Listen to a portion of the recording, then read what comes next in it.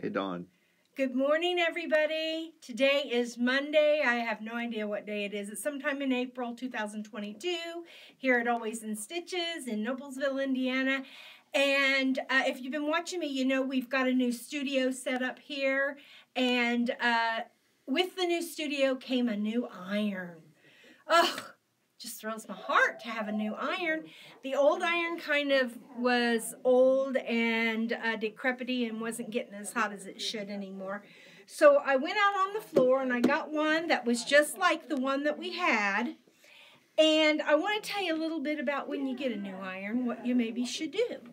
I like to write the date on the box so I know when I got it. That's always nice, don't you think? And then this other stuff is just for the shop. But then you open the box while you read and make sure that it does it's going to do what you want it to do. Do you want one that steams? Do you want one that doesn't steam? Do you want one that shuts off automatic? Do you want one that doesn't shut off automatic? And I don't know about you, but there's all these things in here to read. Does anybody read them? Nobody reads them? No. Okay. User manual, good thing to read. Uh, here's a little thing that you can put on your phone. Uh, on turn the camera on. Put this like in a in the frame of the camera, and and uh, a little website will pop up and talk to you all about the iron. It'll probably tell you all that that's in this book if you don't want to read. And then it's got this foam stuff, and I just kept all that in there because what if something happens in a week or two and the iron stops working? Well, I'm going to send it back. So I'm going to save my box somewhere safe where I know where it is, unless somebody wants to borrow it and not bring it back. Just saying. This iron comes with a little cup because it is a steam iron. If it's got holes in the bottom like this, it's a steam iron. Steam comes out of it. So this particular iron, Oliso, Oliso, is that how you say it, Peter? Mhm. Oliso. And it's pretty. You get your choice of uh, pink, turquoise, or yellow, or purple. Why is it on hydraulics? Uh, because if you don't, if when you touch the handle, it gets ready to s- iron, Oh. and if you let go, it, it pops up so it doesn't burn your fabric. okay. Isn't that pretty cool? wow, that's fancy. Yeah, you got to get used to it though, because I'm not really used to it. Whew. Okay, but yeah, You got a new toy, Dawn. yeah, yeah. As long as you uh, hold the handle, it stays up. I mean, let go of the handle, it stays up. If you hold the handle, then it goes down. But you open this little trap door here, and that's where you can pour in the water. All right, and it's got a max line. Most every uh, iron has a maximum line that you fill it. But what I want to talk to you about is a lot of irons come with a card, a warranty card. That you, and evidently I've already filled mine out and sent it along. Uh, that you want to send it into the company in case something does happen to your iron. This iron is not cheap. This iron is three hundred dollars. Okay. Three hundred dollar iron. Three hundred dollar nice. iron. Ah! That's a lot of money for an iron. So first of all, you want to take care of it. So another good reason to you to uh, read the user's manual because how many people out there think that all irons need to be filled with distilled water? What do you think, Peter? Think fifty percent of the people think that it should be distilled water in all irons? Okay, we're asking about what I th- what we think and not what we do, right? Right. What we think people, most people put in their iron, distilled water. Yes, distilled. Right. Yes. No. No, don't do it. Well, no, Why you gotta not? read you gotta read your manual. This is one of those non-distilled irons. This iron says do not, do not put distilled water in this iron. Oh, I can't keep up with these I know these newfangled these rules. new things. New things. So it's always important to understand what your what your iron likes and what it doesn't like.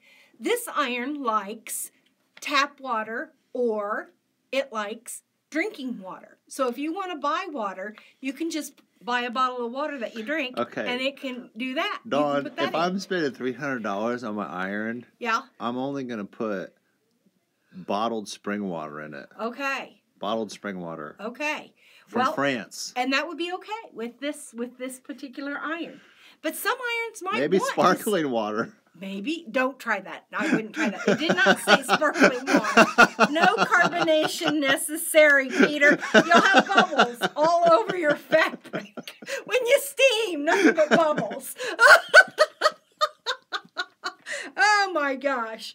But anyway, it goes it, it tells you all about, you know, everything that comes with the iron and everything the iron does and special instructions on, you know, what you should do and what you shouldn't do. So it's always easy. I mean, it's always good to read that. But let's say you've had the iron for a year or two and you've Or never 10. and you've never cleaned it Or 10. or 10 and you've never cleaned it. I have one of these. You can get these at the hardware store, I think, for a dollar. It's just a, a China bristle brush, one of those real cheap ones. You know, it's hog bristle. Yeah. And so what I do is about once a week, I come in here, and you want to do this when the iron's off. Okay, the, my iron's on right now, but uh, but try and do this when the iron's off, especially if you're using a natural bristle brush. Uh, and you want to clean it right in between here, because that's where all the dust bunnies want to hide. So you get in there and you dust all that off, and you dust your iron. The iron is the dustiest thing in the in the sewing room. Do you think, Peter? I didn't know until I saw you dust your iron That how dusty even- it was. Yeah. Yes. The iron gets really, really dusty. And so it, you need to take care of your iron, especially if you're going to spend $300 on it. Uh, if you get one of those $20 ones at Walmart, hey, some people, $20 is just as much as $300, you know, depending on your budget. And I'm not saying that you have to have a $300 iron. I'm saying get you an iron that does what you want it to do and take care of it, is my So point. are you saying take care of your what you do have? What you do have, it needs to be taken care of. Yes, because my $300 or your $300 or somebody else's $300 might be, you know, a $20 to somebody else is what I'm saying, their budget. They, you know, you got to live within your budget. So you're saying I can do with my ten dollar iron what you're doing with your three hundred dollar iron. Yeah, probably uh, the big difference is is it's going to have little, uh, you know, like does your iron do this? No, mine No. Did, mine did not come with hydraulics. No, no. I think that's maybe why this iron is so expensive is because maybe it has this technology. Mine has one knob. One knob, high. I uh, it has a it has a a steam and then it has a squirt. You know, if you just want to add water, yeah. a spray right there is where the sprayer comes Like if out. If your cat gets on your fabric Ooh, yeah, project, you you spray him. spray him to get off. Ooh, it would be really hot, Peter. Wait, the water's not hot, is it? Yes. Oh, don't do super that. Hot. I Yeah, thought it was cold. No, no, no, no, no. The water sits in here and is hot. Oh, don't do it's that. heated in yeah, there. don't Yeah, don't spray do that. anybody, Don't any animals, nothing. Anything. So I didn't know that. yeah, I always set my iron like at cotton because I'm uh I'm a quilter and I use only cotton fabrics. Now, if I'm using interfacing or something like that, that is got polyester in it or some batting or something that I'm ironing on, like fusible stuff.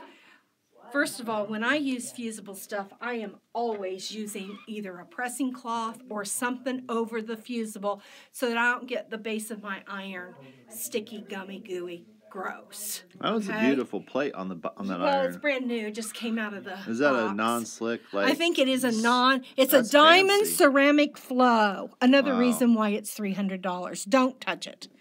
I'm just trying to see. Yeah, that's warm. Yeah. you can feel the heat from right yeah, here. it's hot. It's a hot iron. It's a hot tamale. And uh, the reason I have it on these little, uh, you don't need it on these little gel things, but I have those gel things, so I just put I think it's there. smart to have a barrier. Yeah. Because there's still heat coming from that plate. There is heat coming from the plate.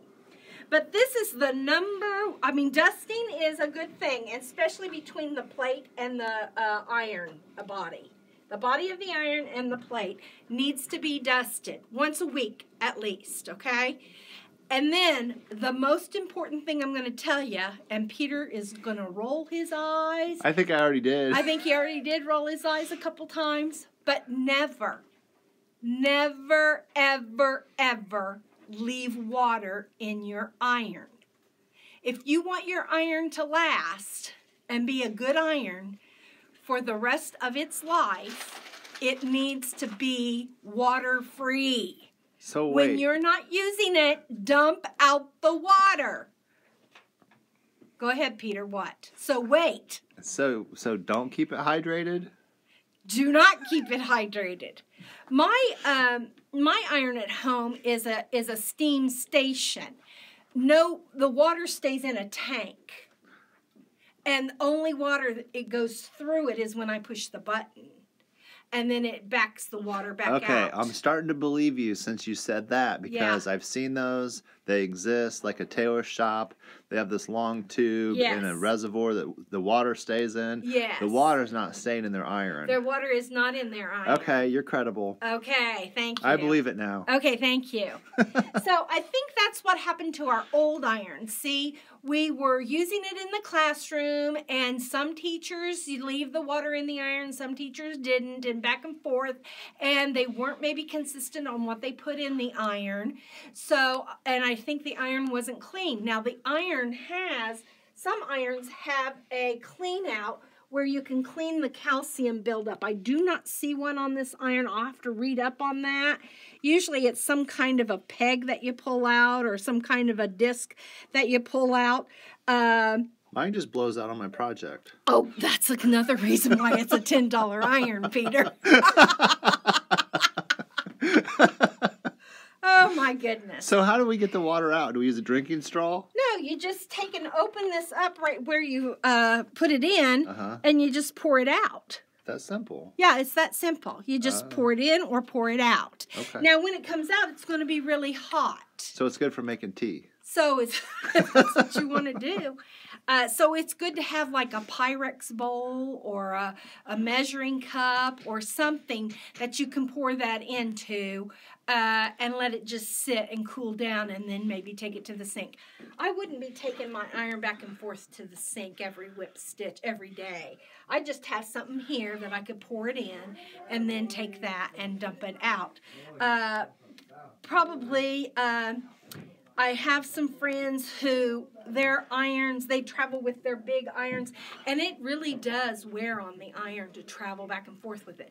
That's why these little irons are so nice to travel back and forth because you can uh, you can get little cases for them. You can package them up, and so that they're not getting banged around. But that's the same brand. Oliso. And definitely on my on my travel iron, I'm definitely going to clean it out too. Okay? This is going to get cleaned out and dusted off.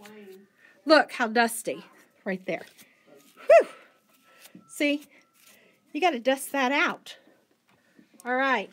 Now this doesn't go up and down. It has this little silicone uh, base, and I just I just would have a diff another silicone base, or I keep mine on my wool pad uh, because I don't want it to hurt my laminate because it does get really hot. Yeah, And- you don't want to put your three hundred, your hot three hundred dollar iron, just sitting on top of your three thousand dollar sewing table. No, you do not want to do that. So I thought I would talk to you about uh, caring for your iron a little bit today. And again, I'm not pushing this $300 iron. I mean, if you want a $300 iron that, you know, does a few tricks, this is the brand to get. Uh, but if you if you want to get a, a a less expensive iron, they're out there. You may have to replace them a little bit more because the heating element may not last as long. But uh, but that's that's the scoop on irons, okay? Okay, so take care of your irons. I'm all for taking care of my equipment, definitely. So today we're gonna do block seven and eight. Seven is called the cake stand.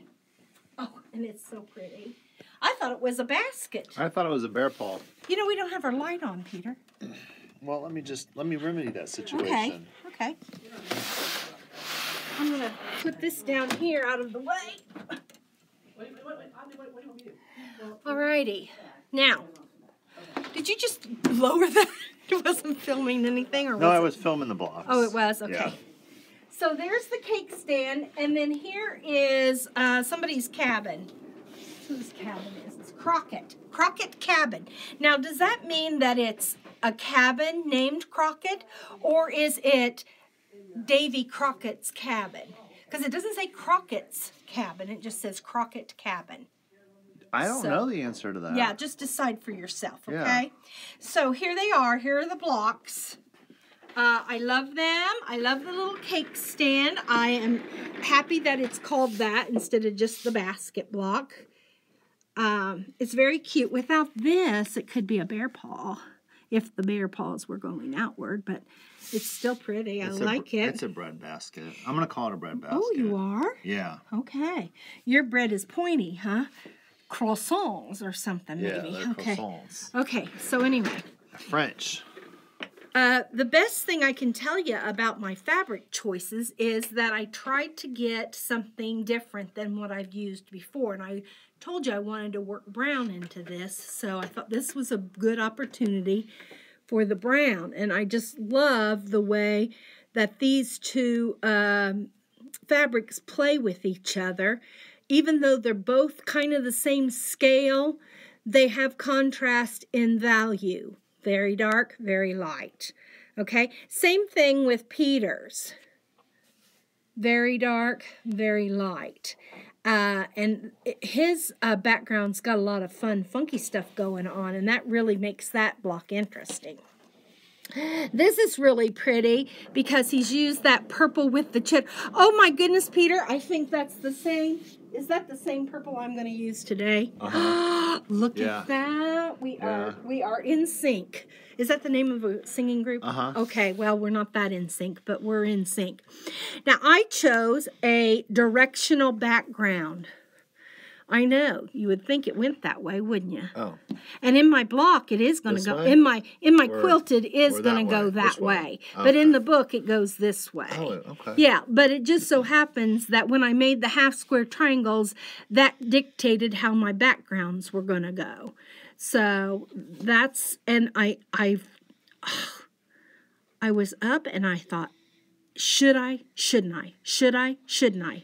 You Make these to. backgrounds. I think so. I You think uh, when they're this cute and this little and this fun, if you have a directional print, you want to go ahead and make sure that those all go the same direction. They don't have to line up, but they should go the same direction.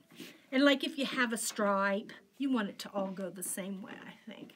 But uh, I really like this. Now, for today, you know, I'm going to be using my uh, Peter Memory fabric. So I decided that this was going to be my cake stand. Ooh. Isn't that pretty? Yeah. I love how intense Wow. that blue is. Isn't that just delicious? That's amazing. I love that. That's going to be really, really fun with that. And then I haven't used much purple, and so I thought I would use the purple here with this. Yeah. So again, it's a two color block. It's uh so you need lots of contrast so that the design shows up really well. All right. So let me get my book out. Let me get my cutting thing here. Let me get my fabric. Fabrique. My fabric. My background fabric. Okay. Uh and let's start with the basket. Now, don't show this page because I don't have the things turned over, okay? So, uh, I'm going to start with the light, which this is going to be my light. My Peter uh, fabric is going to be my light. The first measurement can be bumped up. Let me see what that's used for. 1A. Yes, it can be bumped up to a whole increment. So go ahead and bump that up to the whole increment. And I can't tell you what that increment is because you need to have the book to uh, To sew along with to us. sew along with us because of copyright issues. So Designers got to get paid. the designer needs her money yep, needs to feed her for all puppies. the work she's done. So there's that. I call it putting food in the puppy bowl. Oh, that's fun. Yeah. Yeah. Miss Chloe ha- has completely healed from her uh, toenail incident. Her Paul tragedy. Yeah, Paul tragedy. Now, I'm not even going to move this. I'm just going to take my. Oh, no, you don't do that. No, never mind. I'm going to leave that hole. And then down at the bottom, I'm going to cut one and I'm going to cut it the exact, okay, the exact size, which is a 7 8 inch increment. And it is that. But because I have this fancy schmancy yummy ruler, it gives me all those 1 8 inch lines. I'm using my 4.5 inch square ruler from Creative Grid. Dawn, I think I caught something from you. What? Uh, obsessions with Creative Grid Uh huh. disease? Yep. Yeah. mhm. Yeah, I caught the ruler bug from you. Yeah. Now, if you do love Creative Grid rulers and you are a collector like I am, you can go to their website, Creative Grid USA or creativegrid.com, and you can download a checkoff list of all the rulers they make. And you can just be checking off so that you don't keep buying the same one over and over. I'm going to cut this once on the diagonal, just like it says in the instructions, and I'm only going to use one. That's what the instruction says. So do you know what I'm going to do with this? Because that's on the bias. And if that just stays in my little collection of things, it's just going to get stretched out of place. I'm going to cut me a one and a half inch square right now that I've got my ruler in my hand. And I've got my uh, rotary cutter That- in place. That's a wonderful idea. I'm just going to cut me that. And there we go. Got me a one and a half inch. And here's my basket. One and a half inch. Voila. Hello. And then this becomes my little trash. So there we go. So there's that. So A and H is done. Now I have to do a D. And D can be a whole increment. It has a 7 8 inch increment. I'm going to go up to a whole increment and I'm going to get a skinnier piece of fabric because I think this is exactly the fabric. Let me measure that. Oh, yep, see, that's exactly what I needed. And I'm going to need two of those. So voila, my fabric was doubled and so now I have two of those. I'm just going down the grocery list and I only need one of this size and I already have a strip cut of that size and I only need one. So look at that. See, once I cut my strips, they just keep it using the same sizes over and over. And I've just got them right here. And how convenient is that? That's like super duper convenient, don't you think? Very convenient. And then now I need two, um, here, two of this size strip. And it needs to be, it's not going to be a square, it's going to be a rectangle. So I'm going to cut that. And,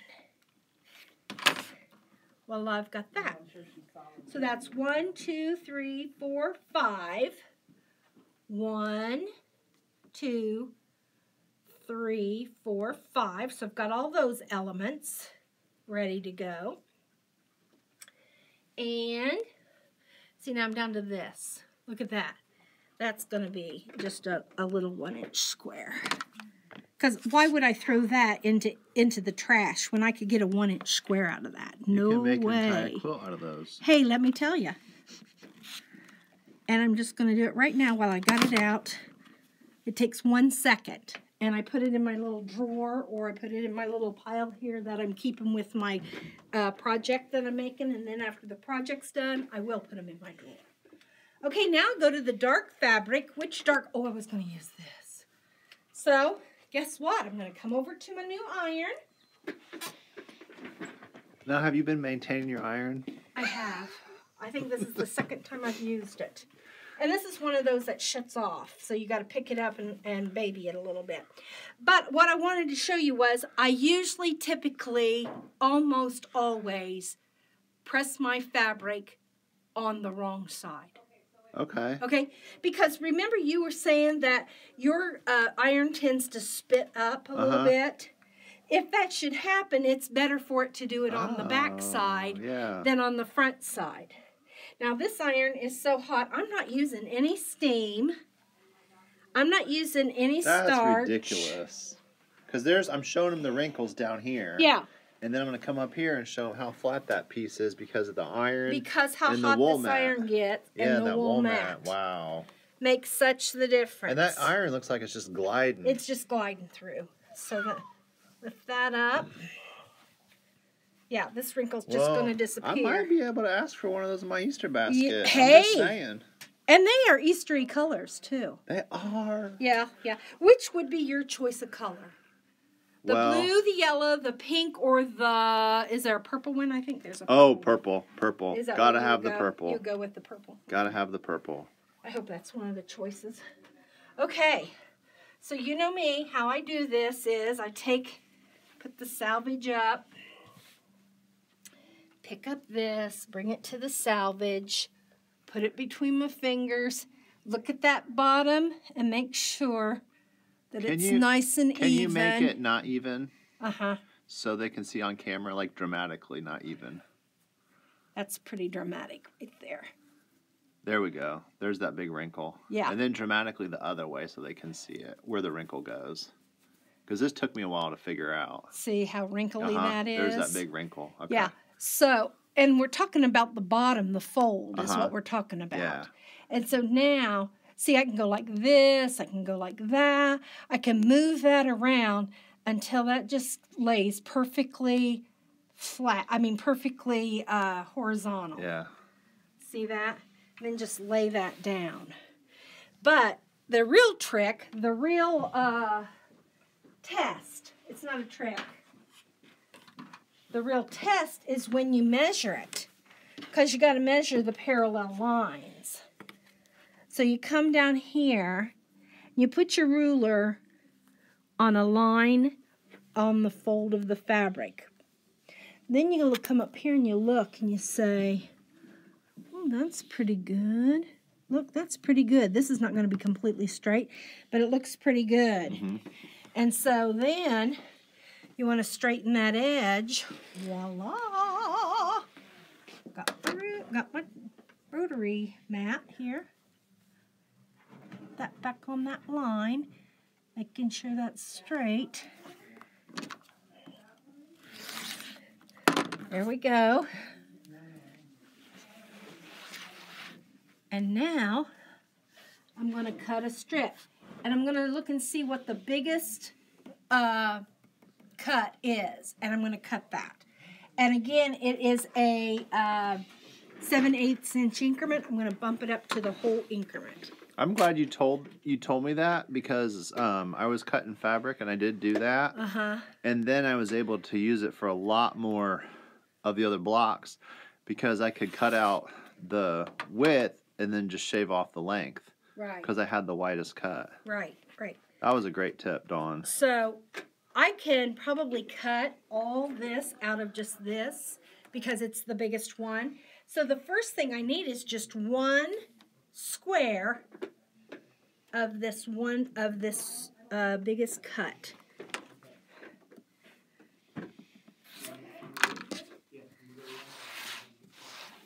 Dawn, do you like your rotating map? I kind of do.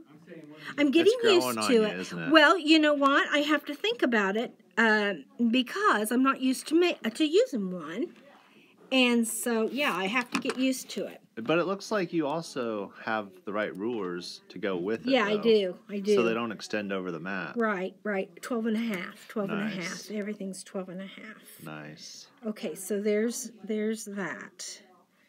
Uh, matching up with that. And then the next increment is a uh, 7 eighths increment, and I'm going to bump it up. And I need two of those. And you're doing that because that's one you can resize, right? That's one I can. Yes, it's going to be a half square triangle. So you know I can I can size that up. I'm going to have to size that up before I sew it in anyway. So here we go. I'm going to make it the full size. I'm going to make it the full size here. I'm going to make it a little bit bigger. Turn it and then size it because I didn't straighten that edge. Okay. There's that. Now, because my strip was not the width that I needed, I'm going to have to cut this it. down. Yeah. to the square size I need. But I'm here to tell you.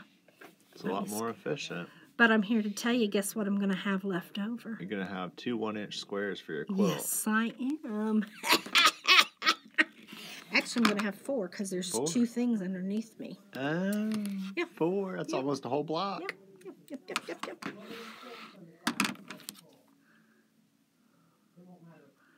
I'm gonna cut it right now. It's out here. There you go. I'll put it down in my little package down here. That's raring to go. Okay, now that matches up with these two.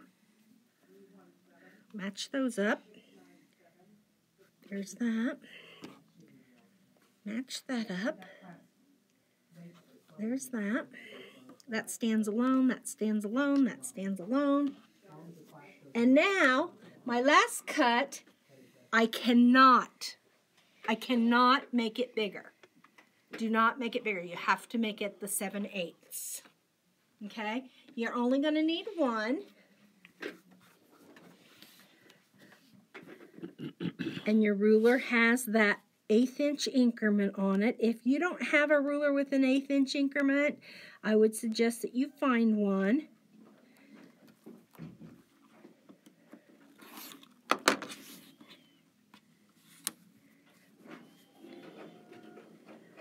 Now, some people get so excited to sew, That's me.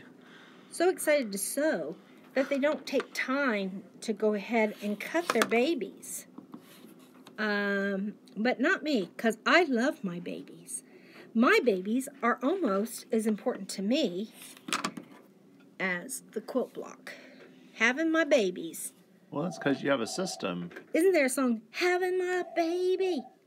I think there's a song like that. I thought that was like um a barbecue, Oh, baby barbecue. Now, like see- baby back. Oh, Gotta baby have back, my baby back, baby Oh back. yeah, that's but that's a different song. Okay, now that's not one inch, so that goes in the trash unless Peter you want it for your artwork. I'll but dig it out that's that's gonna artwork. that's gonna go in the trash, and then I'm putting my one down there, and then this gets cut on the diagonal, corner to corner, and there's that, and those stand alone. So those and those. Okay, now that's that one all cut, ready to go. Fold my fabric back up. Lanine is making chicken sounds. Do you- Somebody's feeling does their oats. anybody know Somebody's why Lanine is making chicken sounds? We have no idea. Maybe She's, she's, she's excited hungry about for chicken and noodles. No, she's excited about Oh, something. okay. Okay, the uh, Crockett cabin. I could ask her. You could ask her, I can see her from here. can you? Yeah. From the light fabric, I need eight of this size uh, strip. And look, I'm not going to get eight out of that. Ah. Let's see how many I can get out of it. I folded it in half. Now I'm going to cut two at a time.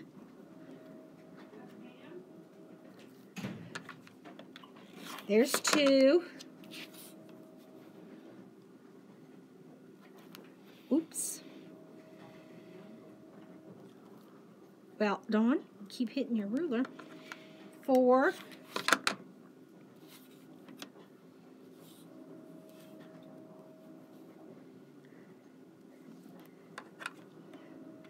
Six. Ooh, seven. Wow, you got lucky there. Wow. Look at how frugal. Seven. Now I'm going to take this strip right here and I'm just going to cut it where I need it. Oh, look. No, I'm not. I'm going to take that. Oh, no, I'm not. I'm going to take this. I found one little piece. Look, I found one little piece the perfect size. You just keep digging, you'll find it. That's what I got to say. Look at that. Eight without even having to cut a new strip. Nice. Is that just awesome or what? That's awesome. Got a piece here that is a one inch piece. I'm going to cut me a little one inch square. Add it to my little bin down here. You know, this is the little bin I'm talking about. I love that little bin. Yeah, I do too. I need to get bun- a bunch of those for my room, Yeah, my you sewing do. room. You do because, well, this one's just for this project Right. that I'm doing. Yeah. Uh, and once I'm done with this project, then these will all go in my drawers. Okay? But I'm saving them out for my uh, project. Okay, so that's the start of this one right here. I needed eight of those. And now I need two. Uh, and this is a whole increment. I mean, this can be a whole increment, even though it doesn't say. And this is just happens to be the strip that is the size that it can be. So, look at this. I'm going to cut. Don't even have to uh, cut a new strip because I already had a strip cut. So I needed two of those. And then there's this. And I'm going to press this. And again, just to uh, hear it again, I'm going to press on the back side of the fabric. And the reason being, again, is if you've got water in your iron and it should spit up or it should spit out something that is not pretty, it'll be on the back of your fabric and not ruin your fabric. Now, there's a big debate out there about whether you wash your fabric first or you don't wash. I'm a I'm a don't wash it. I, I don't wash my fabric. Uh, I think there's only been one time I've regretted that decision, and that's when I used a fabric that wasn't uh, quilt shop quality fabric. So learn that lesson. You know, you got to make the mistakes to learn the lessons. That's what mistakes are. They're lesson building things. I don't know what else to call them. Don't call them mistakes. Call them lessons learned. Okay. I just love that new iron. Just love it. Okay. I didn't know it was $300 when I picked it up. Are you? But I'm worth it. Hey, you I'm are. worth You know what? You're worth it because you do so many quilts. I am worth it. Okay, here we go.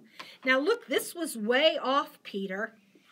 This Let's whoever cut this off. fat quarter, Oh goodness gracious! whoever cut this fat quarter, they were like drunk that day. They were, uh, they were kind of in the sauce, I'd say, wouldn't you? That's a lot of fabric. To uh, Well, the good news is we cut them. We cut them. you give extra. we here we don't the cut them at 18 inches. shop. We cut them at 19 inches. Yeah. So that way we give you the extra to square up your. Now you know I can get an inch. fabric. You know I can get an inch out of this one end. You know I can. Look at that. We'll cut that. I wonder how many one inch squares you're gonna get out of this video today I don't know, but a lot. from your leftovers. I'm gonna cut that here in a minute. Oh, I could cut it down here off of my thing. Okay. We'll cut off this selvage. But the funny thing is, you'll be making that quilt while you're working on this quilt, Right. Because you can sew them together as your beginner and ender. Exactly, that's what I'm saying to you. Or I can wait, and if they're needed in my blocks, I'll You'll have 'em. them. I'll have them. See, I just got one, two. Out of what somebody would have thrown away, Peter. Peter. Because I got in trouble the other day. Yes, he did. We were doing a I cut a video. whole strip We off were- of his I- stuff. I cut a strip off of a quilt because I was squaring up a block, and I put it in your pasta tin, or your I'm sorry, your Yeah. soup kettle, My soup, soup pot, kettle. soup pot. Uh-huh. And Cappy pulled it out, or you pulled it out I during the during the spin off. Yep. and you're like, well, there's there's there's 24 squares right there. look at that. Now look, what it would have been trash is four one-inch squares. And I'm gonna put them in my pen, my little bin right there. Okay. Now this edge is straight. You guys probably think that I'm insane. It's okay with me. I don't really care. I'm having a good time. well, Okay. I think I know what it is. I know what it is. I'm going to cut the biggest increment first. And then I'm going to go ahead and cut a strip the size of the second block just because I know that's a good size and I'll be using it later on. So I'm going to go ahead and cut one of those too. I don't think you're insane. It's just I think that you've done so many quilts that you have a system on getting the most enjoyment out of the fabric and being able to make the most because you have you can be i realize that you you're making those one inch blocks to make a quilt but then you can also do like if you're saving flying geese or i'm sorry half square triangles off a quilt Right. then you can make a quilt from the potato chip block Right. Like, I'm going to have one of these left over today. uh-huh wow that's nice And so I brought it so that I could bring my flying Yes. geese ruler. I'm going to just see. I know that two and a half is a good usable size. i found this out from the you know the shop sample i'm working on Yeah. do you know how many inches i'm going to get from my leftovers How much? 200 inches Now, see, that would have been trash for somebody. It, it would have been before I watched this channel. Uh huh. Now, look, that's a perfect two and a half inch square that I'm going to be able to use some time down the road. yes. because I will put this in my two and a half inch drawer. And when I have, you know, 200 of these in my drawer, then I pick it out. I'll just make me a quilt. I'm going to have a 100 left over for Okay, my so quilt. see, right there is going to be a quilt. You And put I'm- a solid block with that, and you didn't even plan it. You I'm, didn't. well, I'm going to plan the quilt that I'm Oh, going to make are? with it. Yeah. Okay. Alrighty, I'm back to doing this. I have to have four of these, Four. Four of this size. Four. So let me get this out here. I like to do this every once in a while so I can cut them. Because I didn't straighten that edge, so I overcut it. Now I'm going to straighten the edge. I think Cappy and I, the next thing that we're going to do, I hope you guys watched our uh, our turning mat video. It was so fun. We had such a good time doing it. I think we're going to do rotary cutters next. We're going to talk about all the different, I mean, there's got to be 60 or 70 different kinds of rotary cutters out there. We won't be having them all in here. Are we going to we'll have having- Are we going to have rotary cutter wars? Rotary cut, well, no, Cuz the last time the last time was the rotating mat wars. Uh, it was the spin-off. Yep. The spin-off. Okay, now this. Do not be wasting that fabric, Dawn. How many of these do I need? Oh, I only need one of these. Well, so. Undo that. Don't cut two if you don't need to. Okay.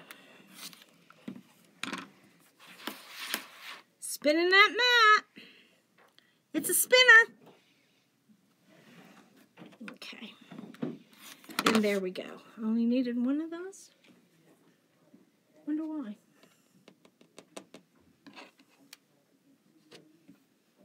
I thought I needed two. Two? No, I did need two of those. I was looking at the wrong thing. Four and two. So I did need two of these. It's hard to read through a ruler. Now somebody on on the channel this weekend wrote and asked when the lines of the ruler let me get a piece of fabric here that you can a light piece so you can see the lines on my ruler a little bit better. The lines of the ruler have a thickness to them. Mm-hmm. Now, some rulers have thicker lines than others, mm-hmm. okay? And so she was wondering, do you put the cut, do you put the fabric on the outside of the line, the inside of the line, or do you try to hit the middle of the line? Well, I just don't see how you can hit the middle of that skinny little line, okay? So I tend to always go on the outside. Now, my answer to her was it doesn't probably matter as long as you're consistent. Do you know what I mean? I mean, either put the cut edge, like if I were to square this up or I was to cut this, am I going to be on that side of the line, on this side of the line, or am I going to move it over and be on this side of the line? I always uh, go with the outside of the line. If you have yeah, because if you have three pieces in a block uh huh, and you sew them together, uh huh, that thickness times three, you're Yeah. going to lose that. yeah. So I always want to go ahead and do that. That's me Yeah, personally. that's like the size of a stitch, isn't it? yeah, that's a equivalent thread. to a thread. About the size Yeah. of a thread, not a stitch, but a thread. He knew what he was saying. Yeah, All right. the size of a thread. So now I've got all my all my strip sets here that I got to keep organized because did you see how handy all those strips came into uh, play today? Very handy. I did not have to cut any extra strips out of my uh, basic fabric. So that was good. That's good. That's good. Should have put these strips away. I will before the day's over. Okay, now this goes with this. This goes with this. And let's come on over to the sewing machine. Let's get these blocks made. Okay. I didn't tell this group, but the other day I was uh, doing a quilt and I was sewing big long rows of blocks together. So I had my big long clapper out. And as I was pressing along, I thought to myself, well, I need to put the clapper on this so that it can get um, flattened. So do I pull the clapper out? No, I got my little clapper, and while it was just right on the other clapper, I just put this right on top. It was amazing! It flattened it right out. It was awesome. So another excuse to have two clappers. I'm just saying. Just saying. I tried it uh, yes last night when I was sewing. It works really good. Yeah, yeah. So let's set up the uh, the cake stand here real quick. Well, first of all, got these pieces, and this is that, and um, this goes there, and this goes there, and that goes there. And I'm just looking at my picture from the book. The picture from the book. Picture pages, picture pages, come and get your picture pages. Now, this is the reason that we had to cut these the 7 8 inch increment because we're not going to have a chance to size this whole section up. It needs to be the size it's supposed to be. Okay? But as far as the half square triangles, we're doing good. So, here we go.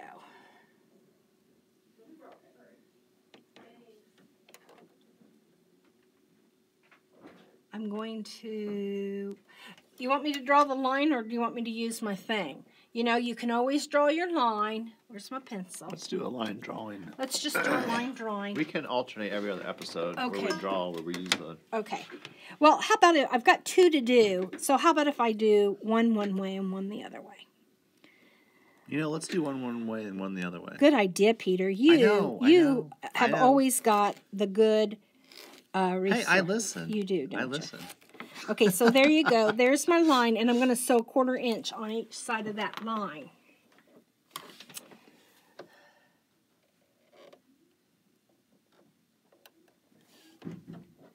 And I've got me a line down here. Oh, got to take my shoes off. That's the number one. Get my foot pedal. And here we go.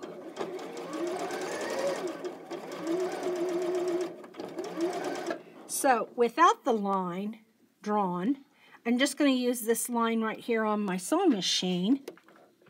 I've got my quarter inch foot, so I know where the quarter inch is. I put the diagonal on my quarter inch. Right there's my quarter inch. So I put my diagonal right there. And then my other diagonal is here on my quarter inch line. This is my needle line. So that's my stitch line right there. And I'm a quarter inch away from the center. And I'm just gonna, I'm gonna move my hand. I'm just gonna guide that so you can see that that corner stays right with and then you kind of just have to eyeball the rest. Okay, and then I'm to do the same thing to this one because this is to be a half square triangle also. It just goes there.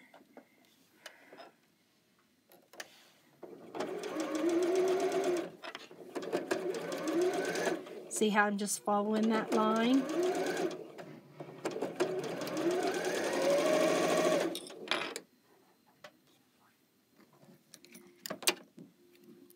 Now there's my beginner and ender. But today I brought these. I'm making some um, some nine patches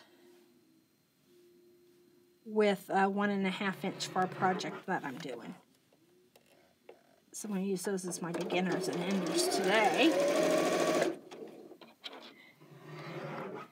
Now, I'm going to go ahead and do this on the other side. See, this is my line. Put my line on my quarter inch. Use my diagonal. Ah! I'm sewing right over the top of the line I just sewed. you might want to pay attention to that and not do that. That is funny, Dawn. Okay, let's get that out of there. Oh, get that out of there. No harm, no foul, right? Let's put it on this side. Okay.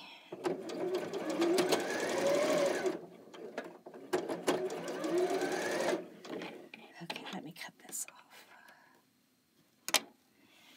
Now let's not do that again, Dawn. Put my quarter right there. Line right there. Oh, didn't get it under the feed dogs.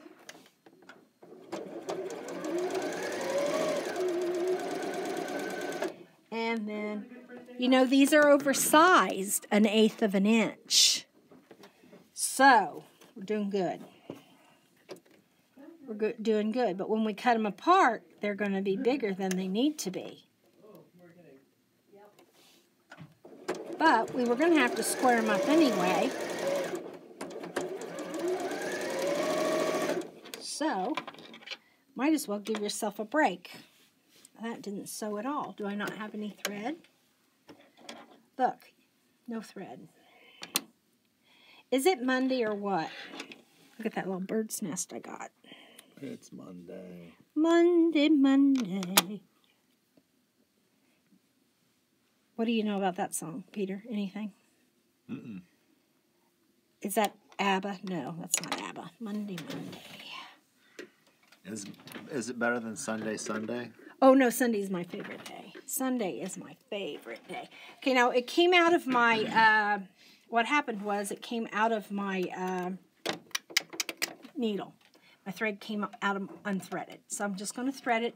I never just try and thread the needle. If my thread comes out of my needle, I always just go and I thread the whole thing. Okay, because I want to make sure it didn't pop out of my tension disc. So here I go. My, my tension is up. I'm going to have to raise my foot all the way because my uh, take-up lever wasn't where it was supposed to be. So I'm going to go down, get my take-up lever, and come down. And this is when I put my foot down because now I've engaged my tension. Okay? And I'm going to put that behind that little hook where it goes. And then it goes behind a little hook here. And put that behind.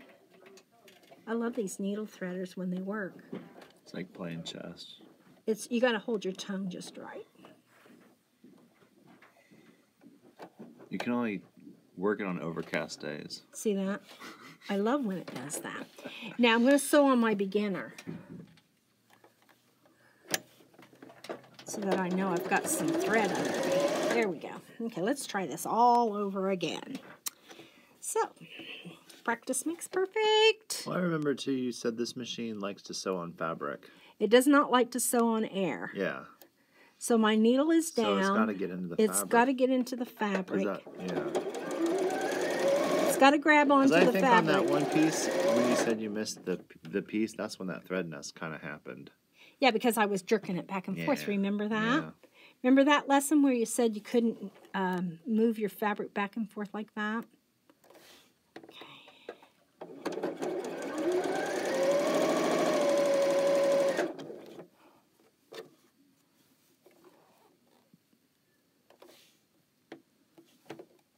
Get that all the way up there. Okay.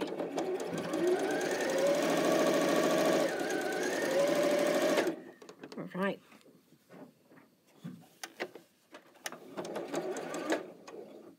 Now that did not sew again. Am I out of bobbin thread?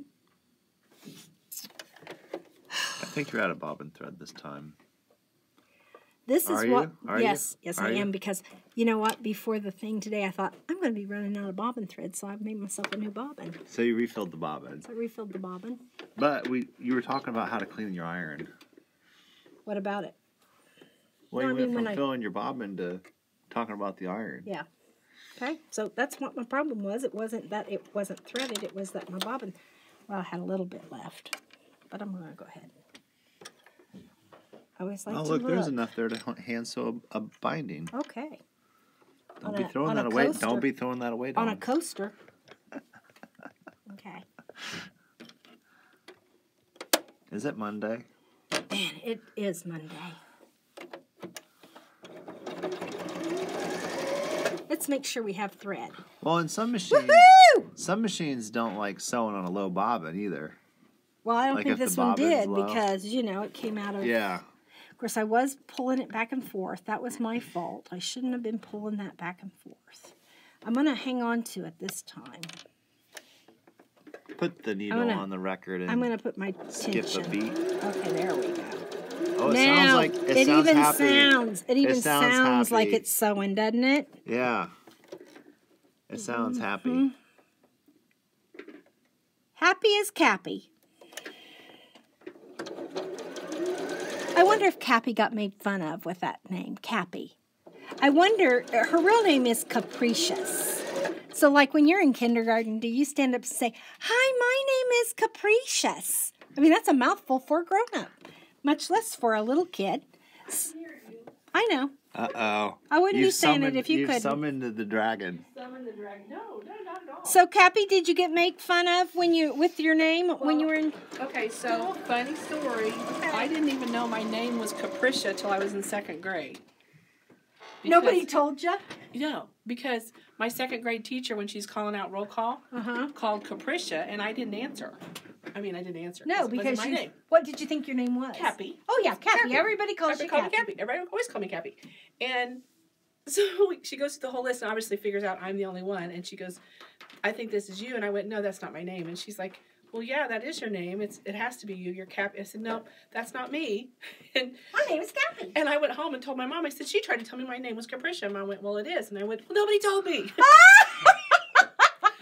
so see, That is pretty funny isn't story. that, that's kind of wackadoodle. That's a great That's kind of funny whack. I know story. that's wackadoodle. And and I've been lit. Of course, here's the fun thing: when Dawn's doing her video, all of us in the back room get to hear, and I'm I'm like feeling really bad for my iron now. I think it's not been treated well. oh, see. Did So you like leave? Peter? Have you left water on your iron? Well, I had okay. So I here's she's absolutely telling the truth because I had an Oliso iron and I left water in it and it died. Yep. But now I have like the steam station one Yep. that she's talking about, Yep. and it's doing great. And it's because it's in the reservoir and it's a totally different thing. So and I st- and I've Nice. changed the water more. So pay attention to what Dawn says. now, she's are you using sparkling water? No, or I regular drink tap? sparkling water with you know the little treats What in kind it. of But water does your iron require? I use um, distilled water on mine. And does it say that in your instructions? It does. It well, does. then It that's says- what it needs to use. Yeah, it says that. But you're right. Some of them want tap water. Some of them want. I mean, you got to be careful. Now my use. my iron at home, m- my steam engine wants half and half. your steam engine. engine. yeah, but but it's steamed. it yeah. wants half distilled and half tap. There you go. And I think it depends on your tap water. Like in Noblesville, where I live, our tap water is nothing but just pure. I mean, Iron. iron. It's awful, nasty Lime. water. Yeah. And I used to live out on a farm. and We had well water. There's no way to put that in an iron. Yeah, So you have to measure what you got. But boy, it makes a difference. it certainly does. It really, really, really, really does. We're so just saying. anyway, glad to see everybody. I'm, I'm. le- It's really nice to get to listen Well, to the videos. question was, did you get made fun of? I Well- mean, did people say "Happy Cappy, Happy No, Cappy"? so okay, so there I have so many name stories. So when I was in junior high, we had a substitute teacher who in phys ed was trying to read my name, and of course it still said Capricia. I don't know, it always said Capricia. Well, that's because that's your name. Because it's apparently my name, I didn't know in second grade, but this was junior high, so I knew by then. She called me Capricia, and when she was trying to say it, she came out crappy. Now I'm in high school, and you know how that goes. Oh man, so now Yeah, all the so- boys are well- calling you crap. Well, I was in phys ed, so it was all girls in the room. However, bit my friends being my friends, they called me that all through high school. I was called crappy. I was always crappy. It's Wait, crappy. wait. Lenine calls you crappy. She does call me crappy, and that's why. And her husband, whose name is Brett, I call Brat, and he calls me crap. And so, and it's not. It to me, it's a term of endearment. It doesn't It's- sound bad. It's with love. It's with love, yeah. So it feels feels good to me. So so people call me crappy, and I don't think anything of it. It's just kind of a name. I even had it on the back of a T-shirt when I was in high school because it was my name and I could get away with it. It was like on the edge, you know. Isn't that crazy? you are funny. So I've got lots of name stories. if you That's awesome. Yeah. But but I'm glad I'm Dawn's friend because she has Yeah. a normal name uh, well, yeah. and it's easier. But you know, when I was in sixth grade, you know, you kind of go through these phases. I wanted to be called by my middle name, Oh, which of was. Renee. I like Renee. So, you know, I decided I wasn't going to be Dawn anymore. You're going to be Renee. I'm, I- you know, that was my artsy phase I went through. Yeah. And so I was Well, going to be Renee. Hey, Tula Pink changed her name to Tula, and she gets away with it no problem. right, So there right. you go. So that's fun. You should be called what you want to be called, right. no matter If what you- it is. If you have a fun nickname, put it in Yeah. the comments. That'd be fun to hear. Uh, that's appropriate. Yeah, yeah, that's appropriate. right, right, exactly. Now I went ahead and there were some half square triangles I needed to make for my other block, so I went ahead and did that. So now what I'm going to do is I'm going to use my uh, triangle square up ruler that you know I just love, love, love. It's the quilt in the day. I love Uh, it too. It's the quilt in the day Love it. Triangle square up ruler. It comes in three sizes. For these little blocks, this four and a half inch size is just perfect. It will change your life. Folks. It is perfect. And what happens with this is, you know, when I'm not making 500 half square triangles and I only need maybe four for a project, then that's when I get this puppy out. You're gonna need to change that blade. No, it's a good blade. I just didn't press as hard because I was out here on the edge of the thing. Doesn't that mean it's dull if you have to press hard? No, I just see this was giving on me. Oh, It you're was- on a hard it- surface. I'm not on a hard surface. That's what I meant. I didn't mean that I I was needed to press hard. I just needed to uh, get it under there. Sounds dull. So see, no, it's not. I just changed it. I just changed it, Peter. So it's not dull. Could have came dull in the box. It could have, or somebody could have borrowed it. I'll tell you what I got to use. it up. I tell you what I got to use the what? other day. What's that? I got to use those. Um, oh geez. the OGs. No, it's those blades, but they're toughened, so they're twice as hard. And you mean they're wanna- titanium? Yeah, you want to talk about a sharp blade. Yeah, but you know Oh, I've heard that those cut up your mats really bad. do Did you notice if your mat was being cut up any better? No, I just noticed it was really sharp blade. Yeah. I don't know what it did to the mat. But Well, that's just what I heard. I've not experienced that, and until I experience it, I'm not going to pass it along. Yeah. You know what I, mean? I know cutting in the same place on your mat will tear It's it not up. good. Not good. I rotate my mat. And you know, you should never leave your mat out in in your car where the heat is. Your mat should not get a lot of heat because it'll warp. And people have all kinds of tips on how to unwarp your mat. none of them wa- work. No, your mat cannot be unwarped. Once it's warped, it's dead. Once it's warped, it's a goner.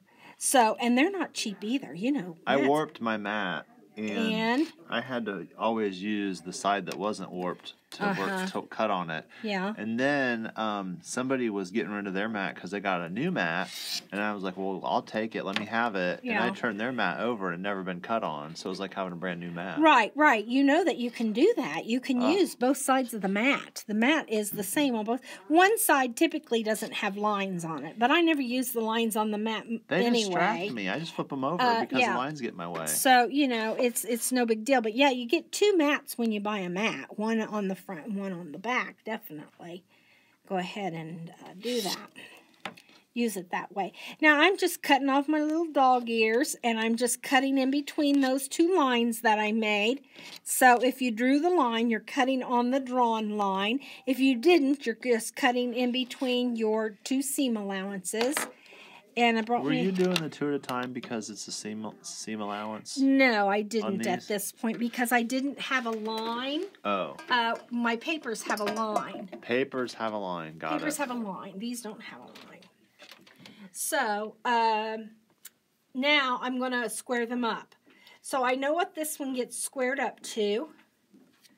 So I'm going to put my little uh, line that I want them to be Are you right putting your on Are the you putting your stitching line on the stitching line? I'm putting my stitching line on the line that says what size they the need dotted to line be. on the stitching line. And you know what? I should have done my. I should have waited to I do my that. little things. I saw that Why? Why didn't you stop me? because I didn't know what you were doing. Yeah. I thought they were already trimmed up. Oh, they shouldn't have. They should have waited. I should have waited because now they're going to be off by It's, a little bit. it's Monday. I'm telling you, if you get it- a pass today for using a it- dull blade and I'm not using your, a You're blade. cutting your dog ears on a Monday. It is a Monday. what is wrong with me? Well, I haven't had any sleep for a little while because Dad is having some anxiety, and uh, so I'm sleep deprived. I'm going to use that. I'm going to use that as an excuse. I tell you, sleep deprivation it will mess you up. it is not good. Let It me is tell no you. good. It is not good. After this video, I'm staring clear at dawn. yeah. Well. I, you should come with a warning that you're sleep yeah, deprived. I should. I should have like a don't scarlet, approach. like a scarlet letter. Don't approach. Sleep Do not. deprived. Do not. Now I'm in a good mood because you know I'm I was anxious sewing. and, and I get to sew today. Yeah. And I was anxious. You know what, Peter? I think maybe this is a dull blade. That is a very dull blade. I can tell by the sound. I'm telling you. I replaced this blade before I brought it in here. I know, but I can just hear it. I can hear it too. It's like nails on a chalkboard. and I'm man. having to press hard. I know you You're are. right. You shouldn't have so to. uh, you shouldn't have to press hard. So I'll be buying me some new blades today and replacing this little cutter with a new blade. And maybe by Friday's video. See, look at that. And I pressed really hard. yeah. Yeah. Okay, so now you get to sit and watch somebody struggle. with a, With dull, a blade. dull If you struggle like this when you cut your half square, anything, it's time to replace your blade. oh my goodness, I'm going to go get my other cutter. You know, don't put up with that. And you know, you know what happened? I got a new blade because I had mine in my my rotary cutter for quite a while. Yeah. And I had it had made it through three projects. I'm like, you know what? It's, it's I know, I know. It's time for a new blade. Well, I put the new blade in. It cut great for a few cuts, and then it didn't. It started misbehaving. And the sad thing was, I only bought a one pack. I usually buy the five pack. Oh yeah, that's so that better way, if I get a dud, because sometimes you do, Yeah, you know, I got another one I can just put in there. look at that, just cut perfect. like butter, and that's not even a new blade. That's just a, a yeah, sharp this blade. is this is just a sharp blade. Okay, okay, yeah. See now I'm much happier. I was fighting with that. Don't fight. Don't fight with your blade. Well, now how many of us do that though? We think, oh, I'll replace it next time. Oh, I'll replace it next time. Well, oh, what I'll happens replace is, it is next that time. you get three projects out, and then you replace it. Yeah.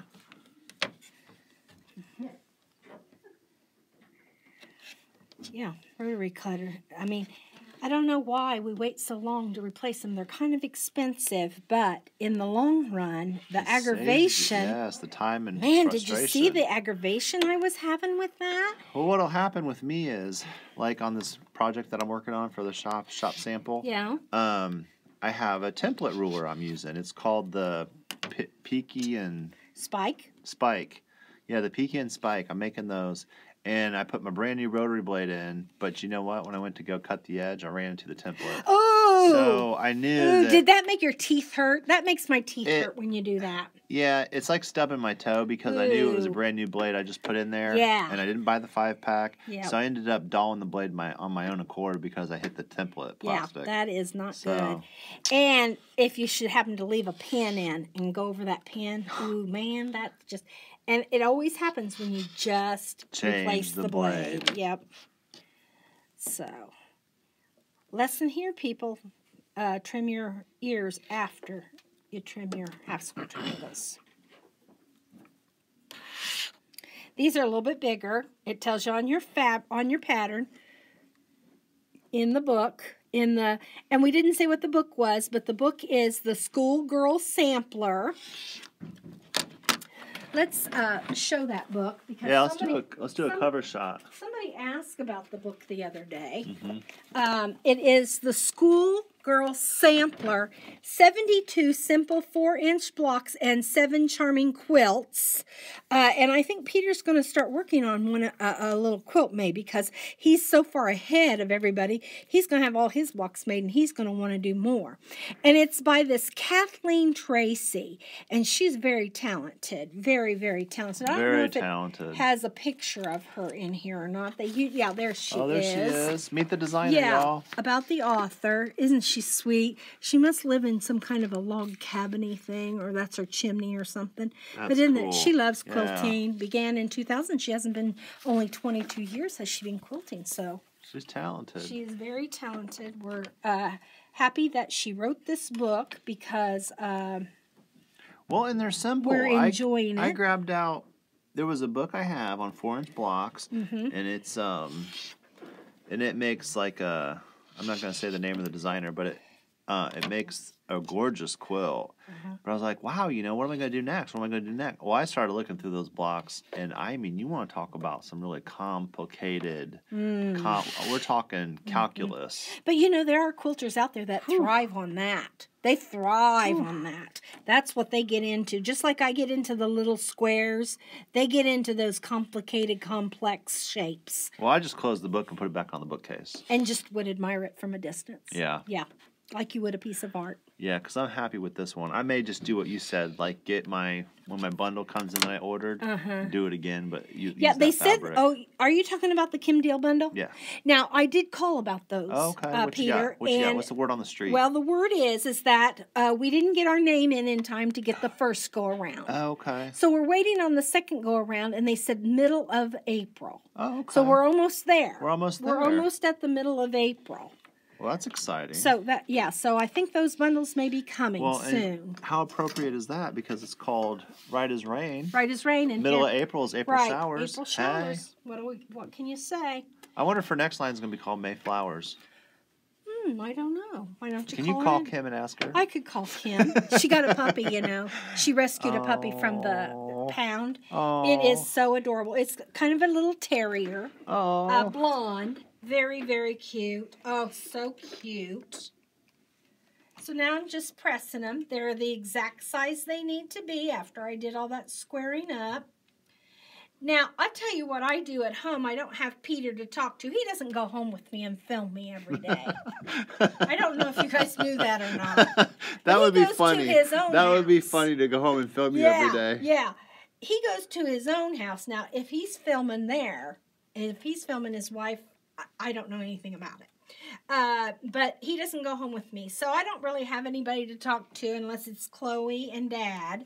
But sometimes I just put uh, YouTube videos on and just watch YouTube videos. I don't watch my own. You don't. That would be narcissistic, wouldn't you it? don't. Is that what that's called? Well, you know what's funny is here at the shop we play we play the channel in the Oh, I know. cross stitch department. I know. So when I'm working in the cross stitch department, I get to hear us back. all the time. And the funny thing is, I had no idea how funny you are until I started listening to the playback of the videos. Oh, really? Yeah. and then you're entertained. I'm sitting here just just because I'm like I'll be you know working and straightening or doing inventory and it's, it's Uh-huh. background noise Yeah, yeah. and you're hearing it and it's just I'll chuckle.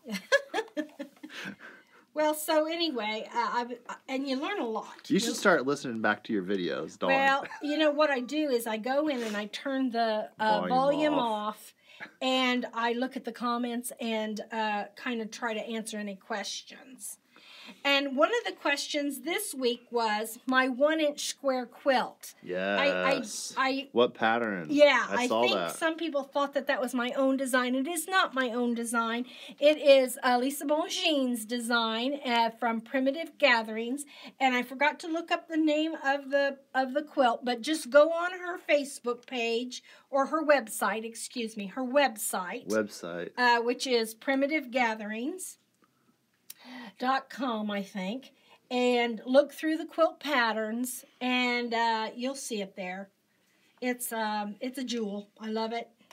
I ought to look the name. Was up the for y'all. background um, bigger chunks or are those all one inches that are pieced together No, they're bigger chunks. on the back? Okay. No, that are sewn chunks. into it. Okay. Yeah, that go around it. You Well, mean? that'd be worth Yeah. getting that pattern. Yeah, that's that a is nice cool, pattern. That is a great way to use your cool one quilt. inch squares.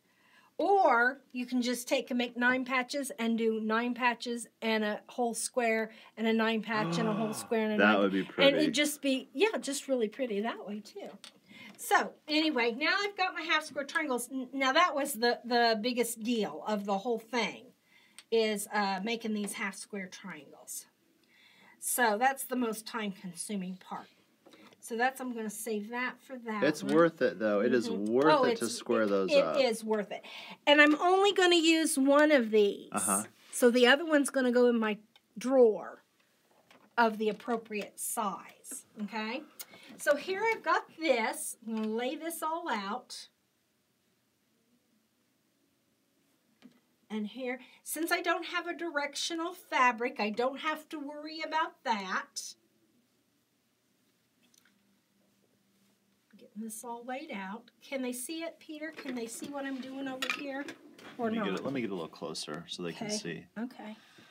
So she's got her vision board up there, and she's looking up Yeah. at that. Yeah, I've got my board right here. My book, I mean, my book. Uh, this goes like this and like this. And then this goes on the side like that. And then this goes down here. It looks kind of weird without the seam allowances right now. It is right a now. fun block to make. And and you're gonna wonder, oh my gosh, What do how in do? the world? Yeah, what what do I do? I had to so- follow the picture to yeah, figure it out. so it does show you a little diagram in the book how to do how how to put it together. So we're just gonna go right along with that. We're gonna pick up these two pieces and sewn together. Now I can't wait for the next block hardly because I've got a nice little tip to share with you on that, on sewing that block. But here we go. And you know what? I kind of need a little bit more light down here on me. the gooseneck. Yeah, there we go. Okay. So I sewed that. I'm going to sew this together. And I'm not pinning because I don't have any uh, seams that I have to match up. There's a seam there and a seam there, but they don't have to match up with anything. So I'm not pinning, I'm just holding that in place. If I needed to use my stiletto, I would. My stuff is everywhere because I, I finally been putting it figured out. Oh gosh, Yeah, put your top on that, man. yeah, put my top on. Thank you, Peter. I finally figured out the value in pinning. Yeah, If you're going to take all the time to get those pieces cut out so perfectly with your wonderful Creative Grids ruler, right. why wouldn't you pin? Why wouldn't I you? finally figured it out, Dawn. Thank it you. dawned on me the other night, Thank you. and I tell you what, it's worth every pin. Okay, I'm going to pick this up. I'm not even going to press that. I'm going to pick this up. You're not going to press that? I'm not yet. Not oh, till oh, I get. because you don't have to. Yeah, I don't have to. It's out of my way. I of can just. way. Yeah, I can just sew that.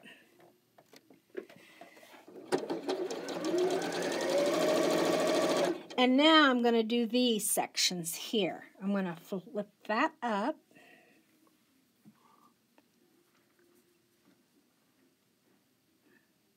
Not going to pin. And I'm not going to start down here where this point is. I'm going to start here where it's On the flat side. so both my feed dogs can grab the fabric. And then I'm going to do the same thing to this one.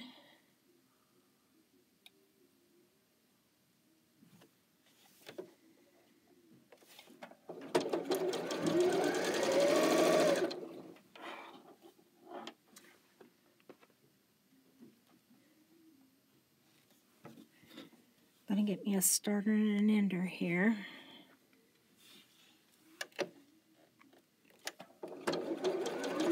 I could use my other block as my starter and ender, but I want to show you something with it, so I want to save it um, to do all by itself. So now here's all my components. I'm going to get out my clapper.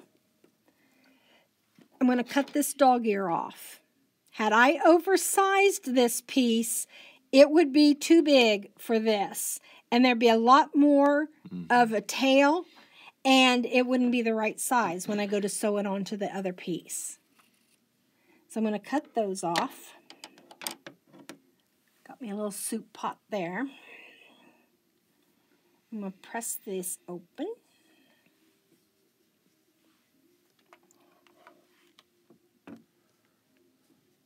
How many pounds of pressure are you putting down on that? Is it just the Um, weight of the iron, or are you actually pressing? No, I'm pressing a little bit. Okay. Is it kind of weird to see my hand go over and Is that weird? well, it's weird that I keep handing you the iron. Oh yeah.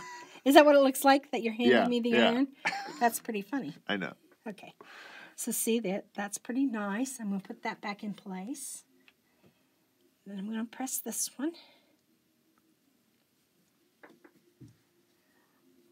Now, on our spin-off, Cappy showed where she had this uh, pressing mat that came with she her she didn't demonstrate it. I was sad. uh, that came with her um, rotary, her rotating Martelli ma- mat, and it was a it was a, uh s- pressing surface and Oh, design board. a design board at the same time. Uh, now, Forgot that. yeah, remember that? Yeah. And uh, I just love my little design boards, and they're not hard to make. They're just a piece of foam core, piece of foam core with some batting or fusible fleece or anything that the fabric's going to stick to. And then I just glued this binding on. I went ahead and uh, mitered the corner so it would look cute, but you don't even have to put the binding on. I mean, if you glue the the Oh. batting down, you know, it's it's a design board. Well, you there you just put this on for cuteness. Yeah. You don't have to have that. Rick rack or so something. So yeah, anything, anything for Or, cuteness. or what are the little pom poms? You could put anything you wanted on there. But I love this because if you had to get up and iron and come back and do all kinds of things, then, and this just gives you a chance, a visual chance to not make as many Ah, mistakes because yes. you've laid it out the way that you're supposed to sew it. And that to me just really uh, makes a difference. So now, I've got to uh, got to press these two little pieces. And because it's laid out, then uh, my uh, seam ripper doesn't get as much use. I'm not saying I don't make mistakes, I do. But it's just, it- lessens, it makes it less because this is so obvious of how it's supposed to go together. So now I can't sew this piece to this because see it's too big. So I'm going to sew this piece onto here.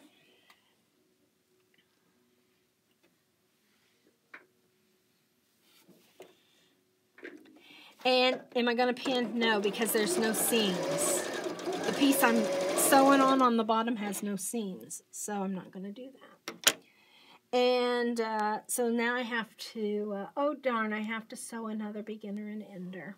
I tell you, when I was making this at home, I, I think I ended up with like 38 beginner and enders because I was just playing and having a good time. And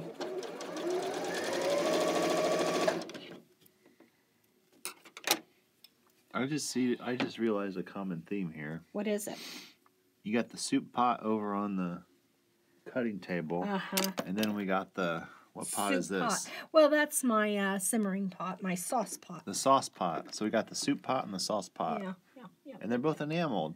Yeah, I love enamelware. That's so cool, Dawn. It matches your iron. Yeah, so there you go. I I kind of did that intentionally. Okay, so now I do have a seam that I have to match up. So now comes the pinning, Sharp pins only. sharp thin pins. Sharp thin pins. Pull that back, make sure it's lined up all the way down into my quarter inch. That's the only place I'm going to pin is just right there. These pieces are so tiny. And now is when you could get your stiletto because see how that's come apart there?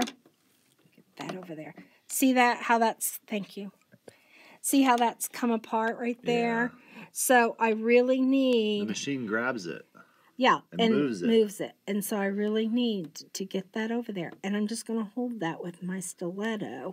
Um, first, I'm going to take this pin out.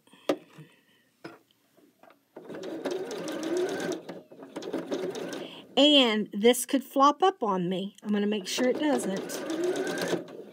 Then I'm going to make sure that this goes together. Now I could have pinned all this. Well, you got your stiletto there.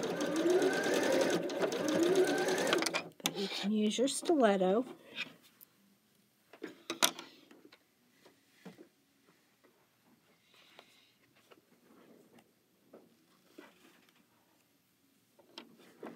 You know, it never gets bored after you sew those pieces together to open them up to look how nice everything I matches. know. you ever notice that? It just See, doesn't get tired. that's the reward. It is. That's the reward of doing all the work. It's like instant gratification. But now, if you like exercise, don't have all your little uh, small pieces. Don't have your iron here. Don't have your clapper here. Don't have your design board here. You know, ha- make yourself get up and get all those things, and uh, you get exercise. But me, I'm lazy, so I just have everything right here handy. And once I sit down at my sewing machine and I have all my components cut, then I'm ready to go and look at how. I mean, you know, that is just thrilling. Let's see how impeccable That it is just thrilling, thrilling to me. impeccable. Thrilling. It is very thrilling. So now these get sewn on. This is the cake stand part.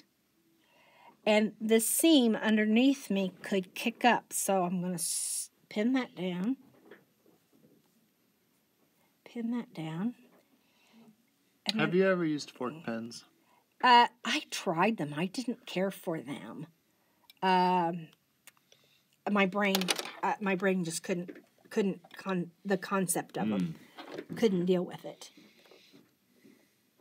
Not to say that there's not a purpose for them, because you know, but I did try them, and I just, I just can't recommend them because I just couldn't, couldn't deal. That's me. I just can't. I can't recommend something that I don't use or that I, you know, that I can't grasp.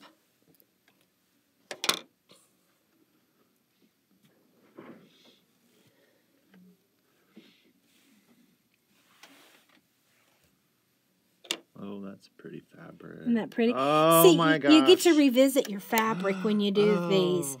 because you see these are all just one and a ha- half inch squares that I've just, uh, you know, I have Oh, I collected and scraps. collected and Oh collected and collected and Let collected. me see your collection.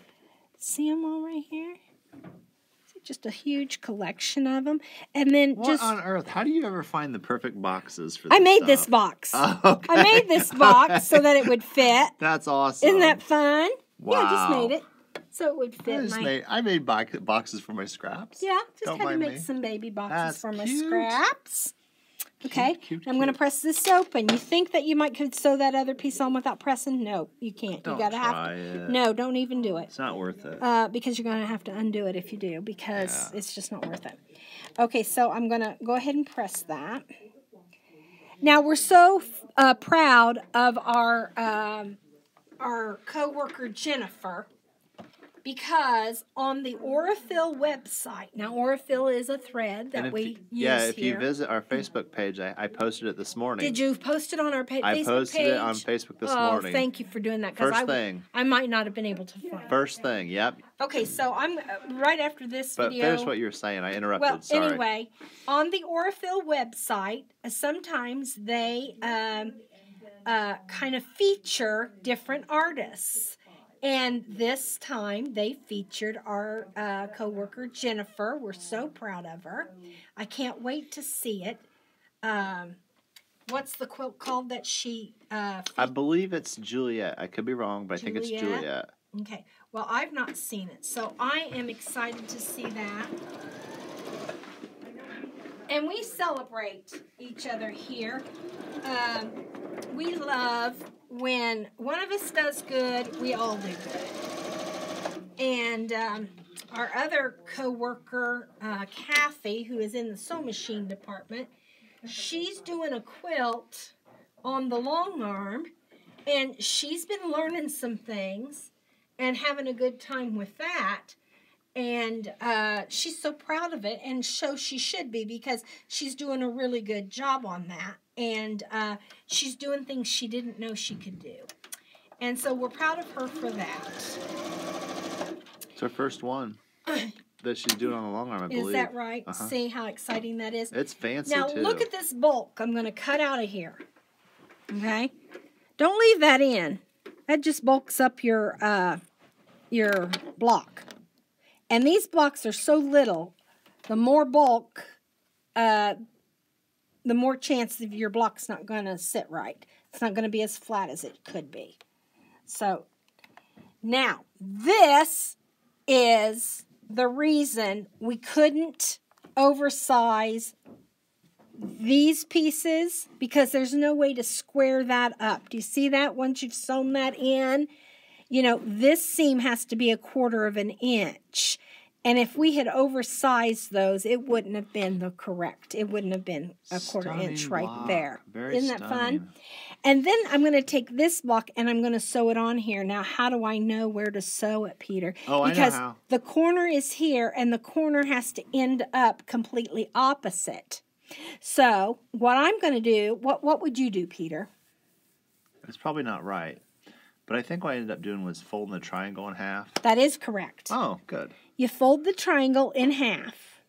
Because I, I was far ahead and I didn't get to watch the video. Oh, yeah. So I'm like, yeah. on some of these blocks, I'm, You I'm were- kind of struggling. Yeah, but- you were just playing it by ear, but you did right. And I'm just going to finger press that because that is a bias.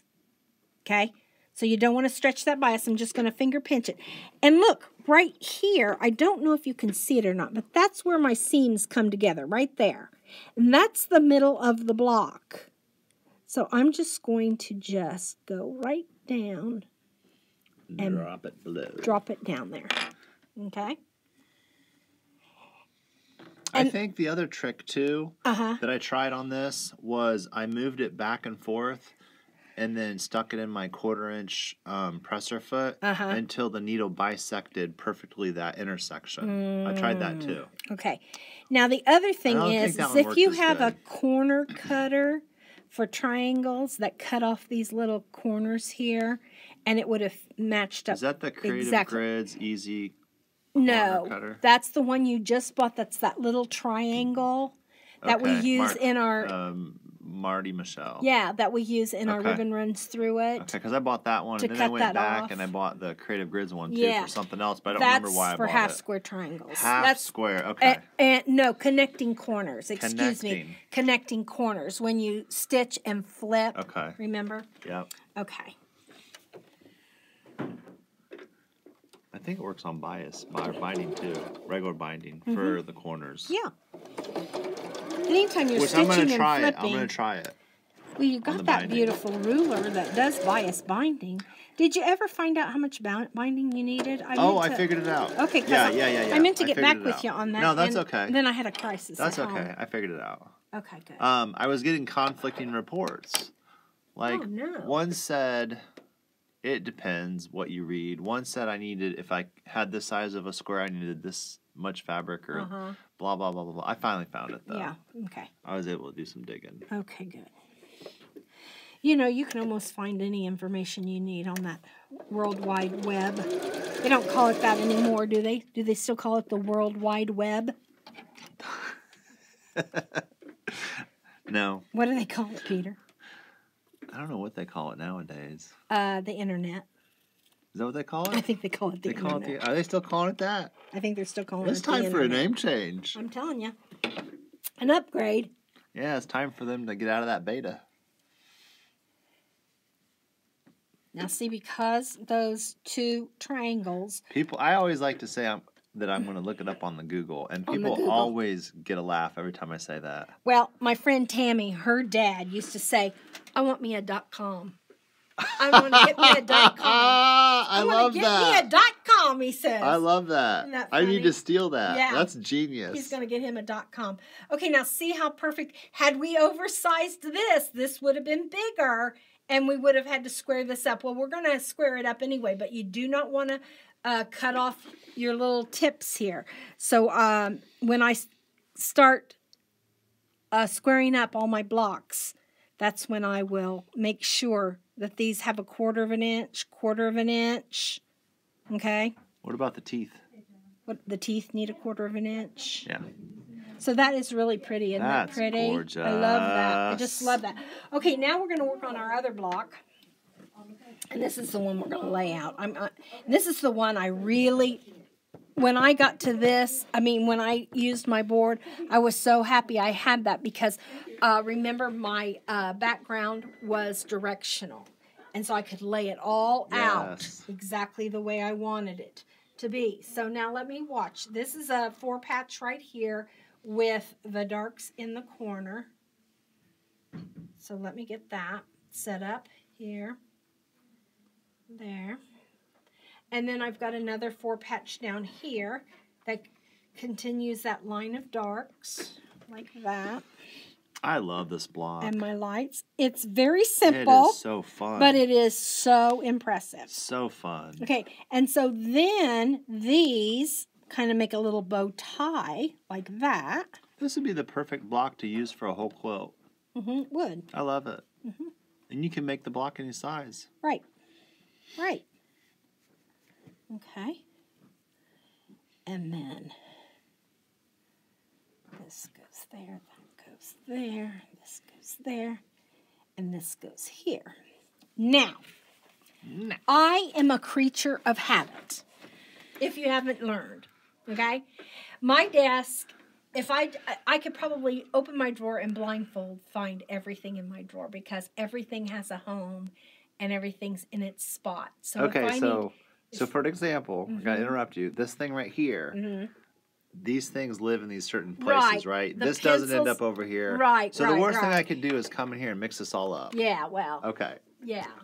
Not the worst thing, but one of the worst things. Yeah. But that's how cre- the, that's the how rotary cutter comes. This goes to the middle. but that's exactly This goes on this side, and the little thing goes on it. And then there's an ink pen and a, a marker right there. Yeah. And here's my corner turner. I love that right there. So yeah, all my stuff. How do you get it? How are you like that? How do you consistently keep it I that don't way? know. I don't know. It's just a weird thing about me. Because that's kind of I cool, sew- though. I mean, it I makes it it makes it good to you know be that way because Everything has a home. yeah, you're able to reach for it and grab it without looking. But the point is, is when I sew, I don't know why, but I sew from Oh, right to left. You do? Uh huh. When I'm putting a block together. I'm always left to right. Right. Some people are. Left to right. Because that's how you read. That's how Yeah. you read. And you go okay? right to left. That's and so I go, cool. I go here 1st and I pick up. It's because it's closest to you. Exactly. I think that is right. And I'm just going to sew this together.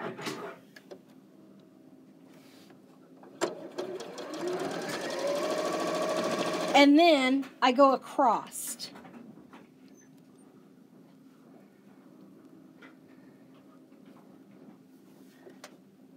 And I'm going to do that all the way down the rows.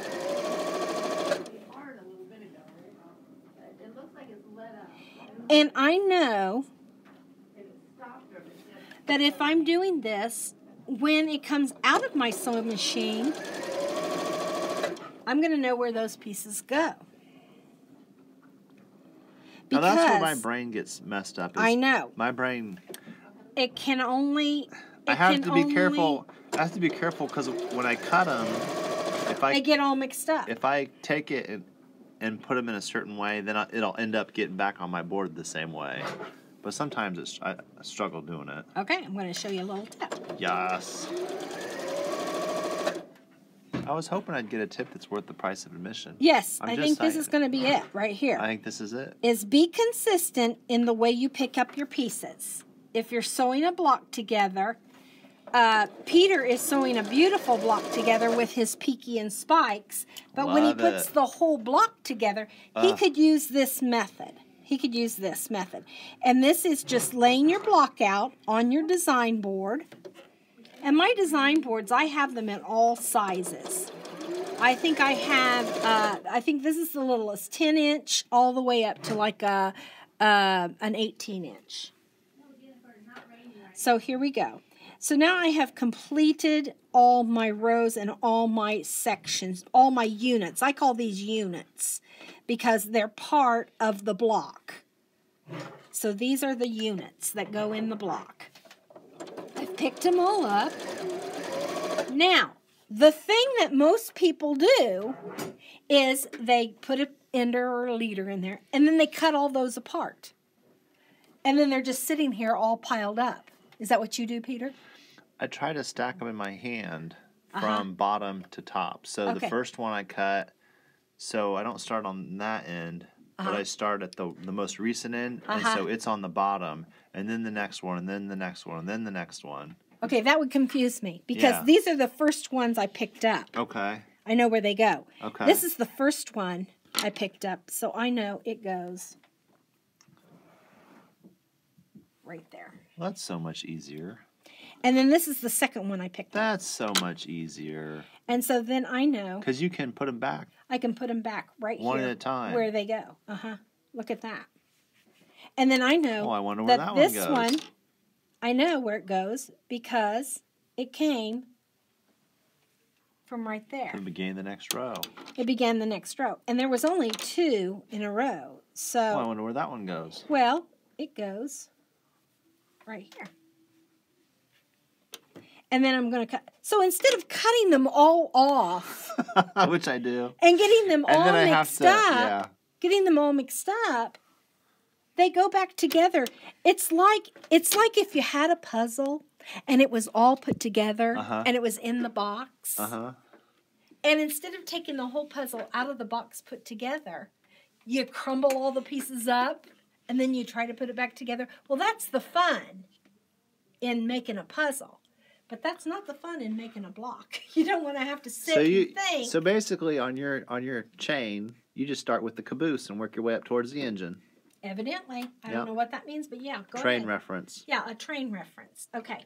So now here's my here's my uh, last row. That way I'll be able to remember it. Okay, here's my last row. Laying that down. I'm gonna get me uh, a beginner and ender here. Sew me a beginner and ender.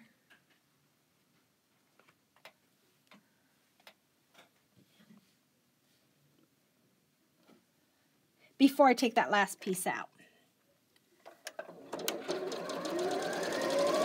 Because this is not just a beginner and ender, it's another quilt. It's another quilt. See, I'm, I'm working on another quilt. So now, here I have this already then back put back together without even having to struggle with that. Okay? Now, what I'm going to do is I can either sew the rows together Mm-hmm. or I can sew them in four patches. Okay? Whichever you're most comfortable with. If you want to sew them in four patches, then you're going to have to press them right now. Okay? If you're going to sew them in rows, you don't have to press them. Okay? So let's sew them in rows. So you just pick up first row.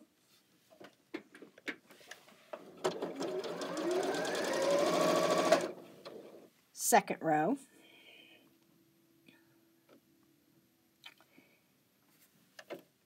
And this works on all size blocks. The bigger the blocks, the more important it is. The more pieces your blocks, the more components that your block has, the more important this is. And if you just need to do a section of your block, let's say you're doing an 18 or 20 inch block, you may just want to do a little section this way before you go on to another section. But keeping your blocks organized is a time saver. Now I'm going to take off the first row again.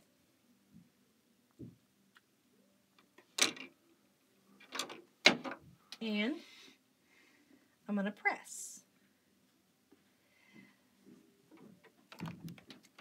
But it's not as easy to get the pieces upside down, turned around, backwards, forwards when you're doing it this way because you're taking it a section at a time. You're not just willy nilly. I use that word a lot, don't I? Willy nilly. yeah, willy Um, nilly. willy nilly. You just don't. That reminds me of that Milli Vanilli or whoever that song group was that lip synced. What was that? So you don't just willy nilly just cut them off your machine and expect them to go back in place when you've not really paid attention to how they've come off your sewing machine. They're always going to come off exactly the way you put them in there. So if you have the mindset, or if you can remember how you sewed them in and how they came off of your design board, then it's easy to just go ahead and put them back. So now look at that. Now those two rows are ready to go back on, but I've got them flipped around. Do you see that? But had I just willy-nilly them, but because I've got my design board there. Would that be a design change if you willy nilly did it? Yeah, it would be a design change, and you can do that. That's it's your block. You do what you want. But if let me tell you, when I was doing that one where the background was uh, directional, wow, this was super important because I couldn't get just because I had two half square triangles or two four patches, I couldn't get them mixed up because they'd be going different directions, you see. And so that's why it was so important that I take it off the way it came on. The way I put it on, the way I took it off. Now, I'm going to go ahead and put this in place. It goes right there. But before I take that last piece out, Peter, before I take that last piece out, I'm going to go ahead and stitch this. And I'm going to go ahead and pin. And I'll tell you, there would have been a lot less pinning if I would have put it together four and four.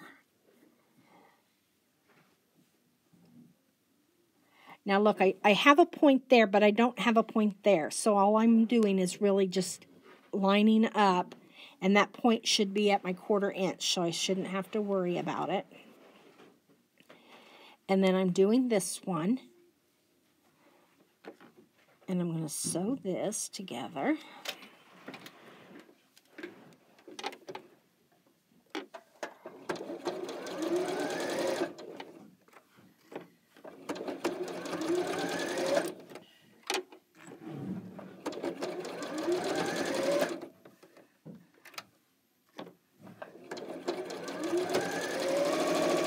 Now, I have this last piece that all I have to do is press it.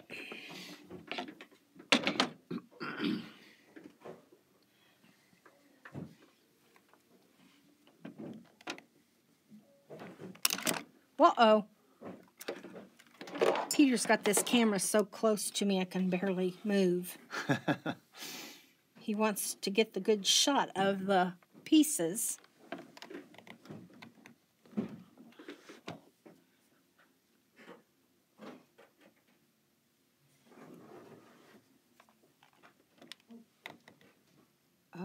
So that was good. So now I have this piece as a reference and I can just put this piece on. And yep, that's correct. So I'm going to pin that.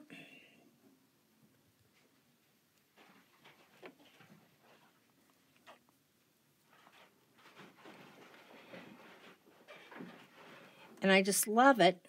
I love a, a simple four patch and it kind of looks like a little butterfly, doesn't it? It does. Uh, or a bow tie or something. I'm going to have to scooch that one over a little bit.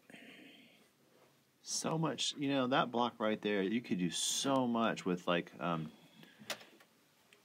changing fabrics out for different ones. Uh, because, you know, when you put multiple ones of them together, they make a big long chain. Yeah. With the little butterflies in between. Might have to experiment with that one. Yeah. That's what's fun about these four inch blocks, Peter, is that you can. You can uh, make a whole quilt just with one block. Uh, it wouldn't, I mean, you could make a huge quilt with it, but you could make a, a small quilt. Yeah, when you find a block that makes you that happy, you just kind of want to keep you spending time keep with it. making it and making it and making it. Okay, now I've taken this one off. I know it's okay. you know how one. you said your your casket's going to be lined with one inch squares. Yeah, I said somebody could. could yeah yeah yeah yeah yeah. Somebody Except could line I'm your casket with one inch squares. so, Are you? Yeah. Okay, so maybe on my tombstone I'll have my favorite quilt block. Oh, that'd be good. Some people put their picture. You could just have a quilt block. yeah, my favorite quilt block. Uh huh. Okay, so now I've got my top one and my bottom one, so I'm not out of control. I know where they go. And it would have just been really easy to have messed up because this has and four is eight and eight, 16 little units that make up this block. And it would have been easy to get those all mixed up. But because I paid attention and I and I'm a creature of habit and I know how I pick my pieces up, I paid attention to how I picked them up, how they went into the sewing machine, how I cut them off the sewing machine.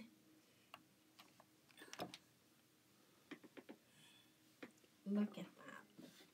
I didn't have to uh, reconfigure and it That's just went together just lickety split.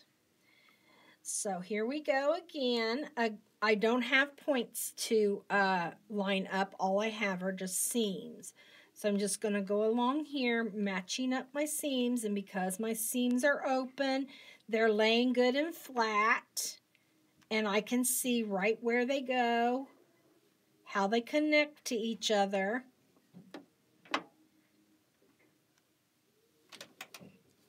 And I don't know how many beginners and enders I've got here, maybe about 10 uh, towards my uh, quilt. So that's exciting. So no thread wasted, no time wasted. I'm on to another block, on to another quilt, on to another project.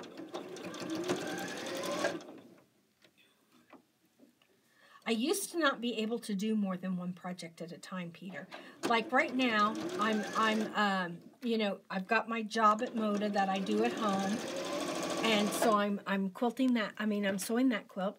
I've got um, my schoolgirl uh, going on. I've got my ribbon runs through it going on. I've got my uh, nine patch thing that I'm doing on the internet going on. That's four projects going on at the same time. I used to not be able to do that at all. Wow. I used to could only focus on one project and from start to finish Mm. because I would I would get I, I would get totally lost. But that comes with uh, practice and Practice. growing and maybe the need to uh, get it done. But whatever, I think when I started teaching, that's when I had to teach myself to, you know, be involved in more than one project at a time. Wow. I do uh, when I make a project that's not scrappy, I do cut out uh, the entire quilt Oh wow. before Nice. I uh, before I start. Now s- sometimes that's not true because sometimes I have to make a if I'm designing, you know, you have to kind of make the block as you go and then you can kind of multiply it out. But typically, typically I like to cut the whole quilt out. But because this scrappy one is so fun, picking out the fabrics each week kind of adds to the excitement of it, don't It you think? It does. Yes. I do too. Now look at that. Look at those little butterflies. That's so pretty. It's butterflies on the cabin Butterflies, yeah. And or butterflies on the basket. Okay, let's go put them with our other fab with our other blocks. What do you say? Let's do it. Oh. Let's make like a bunny and hop to it. Let's hop to it, buddy. Okay, where are your blocks? Oh, here they are. I don't know. I Here, lost right them. here, right I here. lost them. Okay, there are my. Uh, there's my Kim Diehl, and there's your um, uh, fabrics that you're doing, and then here's my Peter uh, memory block. Oh, gray is smashing. Yummy! Isn't that yummy? And then let's look at these. And isn't it funny that we've chose the both the same purple? It is. I think that's hilarious. That's I think that's just hilarious. So there's Peter's, there's Dawn's, and here's the one we added today. All right, put them on the board. So let's wall. put them on the board. the board. We're gonna have to get a bigger board. Okay, this one's mine. Can we put in for a bigger studio? we can, but we just got this one, and we have to want to have to make do. And then um, this one's yours here. This one's mine, and then this these are my Peter ones. And look at how that. Yum! I am loving this blue background. I'm loving that blue. Man, that blue with that red, Dawn. Delicious. That is just awesome. That is just delicious. Can't hardly stand myself. Okay, and Peter, yours are coming together so nice. Yours have a really distinctive vintage look to them. I think. What do you Thanks. Do you think that it's kind of a vintage look? Uh, it's it's not really what I would call. Well, maybe I would call it Civil War because it's all that era fabrics, where mine kind of look more like um, I don't know a carnival to me. They look kind of fun and cheery and.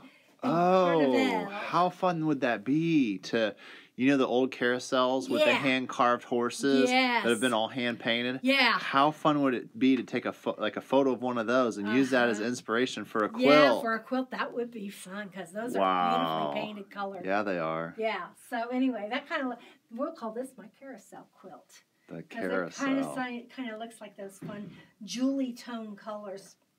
So anyway, that's today's lesson, and uh, it's block. What did we say it was? Block seven and block eight. Uh, cake stand and Crockett cabin. So I hope you're staying up with us. I hope you're making four inch blocks because they sure are fun. Don't miss out on any of the fun. And if you haven't started, there's you can You there's can still time. go back. You, You can can always still- go back and look at the video. We still have books, don't we have books? We have books, and it takes no time at all to whip out three of these blocks. Yeah, yeah. so you're little, yeah, you're literally maybe two days away from being caught up. Yeah, yeah. Oh, and they they take less than a half an hour to make. They're very quick. So they come to go together fast. They cut out fast. Yeah.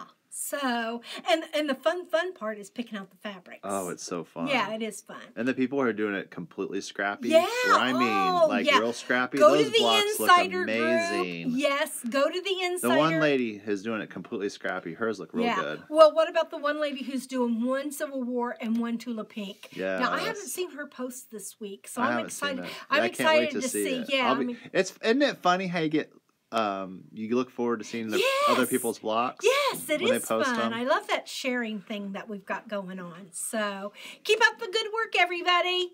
Make four inch blocks all day long. I love it. Bye.